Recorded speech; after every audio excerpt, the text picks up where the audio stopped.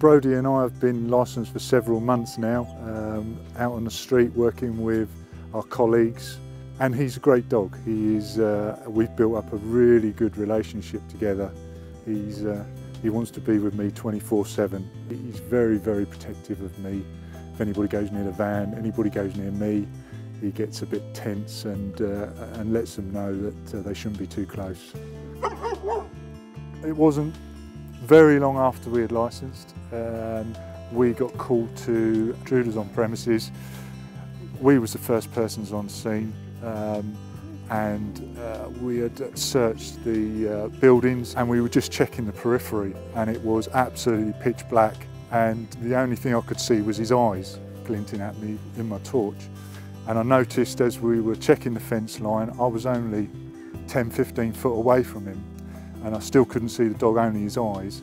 And he, he started looking at me and, and, and, when he does that, I know that he's found something. That's his way of telling me there's something here. I'll turn to recall him back to me and as I did that, I couldn't see his eyes anymore. And with that, I was aware that a vehicle had come from my left-hand side. He had run out onto the road, obviously, at that time through a hole in the fence, which I hadn't seen, and he got hit by the car. I ran out onto the road, and the vehicle slowed down but then sped off. I expected to see a dog laying in the middle of the road, I've got to say, and uh, it wasn't a very good feeling at all. Once I'd managed to collect my thoughts, went back to where we last were, retracked from there and found him laying in the corner of the, of the building site um, with blood coming from him and he, obviously wasn't well. We blue lighted to the vets, his blood pressure had dropped through the floor uh, and his breathing was very laboured.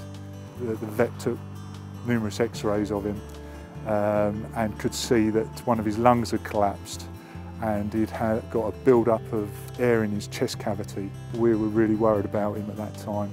The vet did a brilliant job as they do and we, they, they got all the air out of his chest cavity, checked him. He, luckily he didn't have any breaks in his, in his rib cage, which obviously would have punctured the lung then. We put him into recovery in the vets. It was only a matter of four hours later and he was back to his old self.